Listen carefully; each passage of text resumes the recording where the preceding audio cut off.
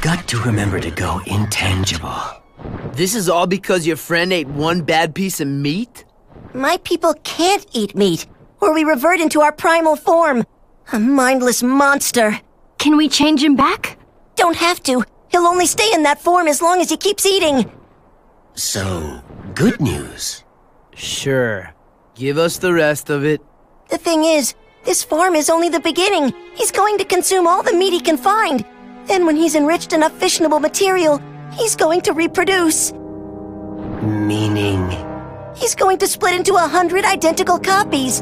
Then they'll go off and eat everything they can find. How many times can he do that?